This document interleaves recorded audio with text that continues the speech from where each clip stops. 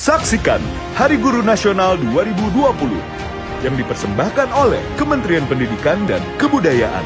Dimeriahkan oleh RAN, Rini Wulandari, Naura, Nola Bitri, Lula Kamal, Gita Bumi Voices.